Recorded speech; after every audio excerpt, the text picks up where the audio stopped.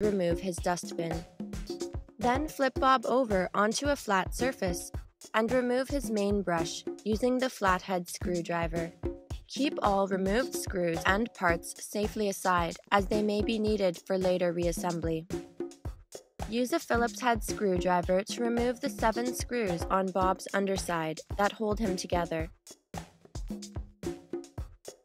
One screw on each side of the front wheel. One screw to the right of the main brush motor. One screw on each side of the dustbin. The final two screws are in the brush compartment.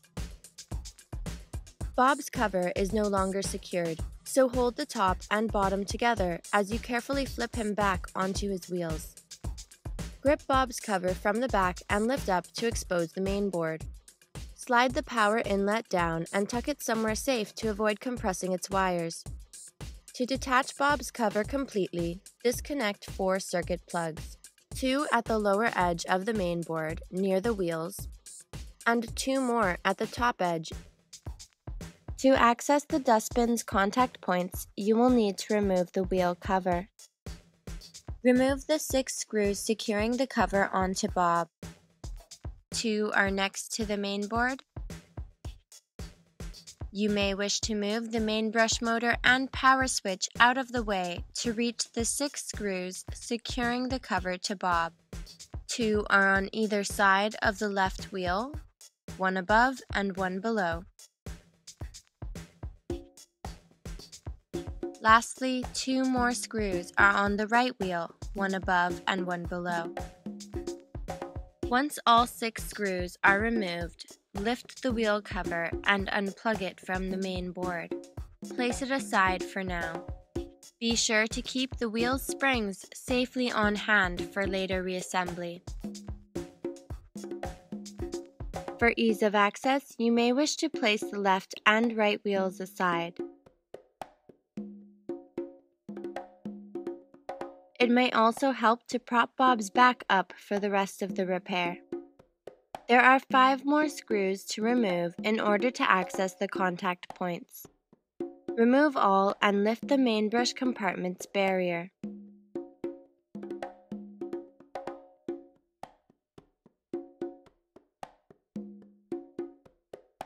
Then slide Bob's contact points out of their spaces and follow their wiring to the correct circuit plug on the main board.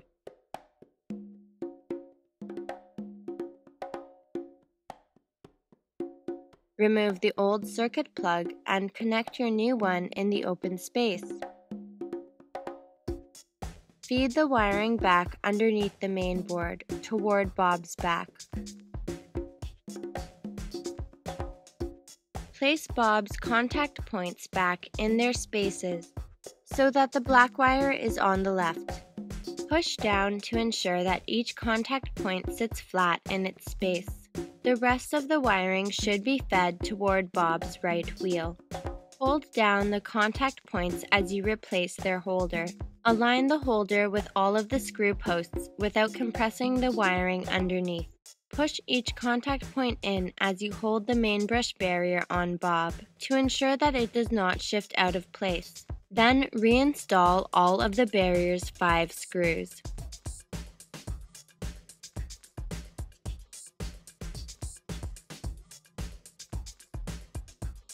With the back of Bob still tilted up, replace the left and right wheels if you have moved them. Replace the two springs on top of the wheels. Plug the wheel cover back into the main board. Clear the area of any wires that may become compressed underneath the wheel cover. Then carefully align the cover with the screw posts on Bob. Make sure the springs on top of the wheels do not move out of place. Install all six screws previously removed from the wheel cover. There are two just behind the main board, two around the left wheel, and two around the right wheel.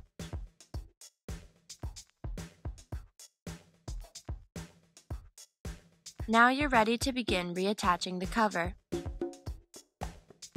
Reattach all four circuit plugs connecting Bob's cover to the main board. Two connect to the top edge of the main board and two more connect to the bottom edge. Remember to slide the power inlet back into its space on Bob's cover. Align the cover's edges precisely.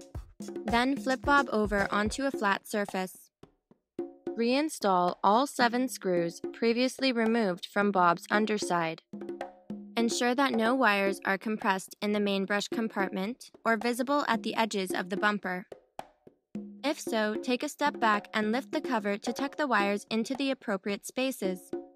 Install the main brush and dustbin before your next use and Bob is completely reassembled. Turn the side power switch back on and congratulations! You've just replaced Bob's contact points. Happy cleaning!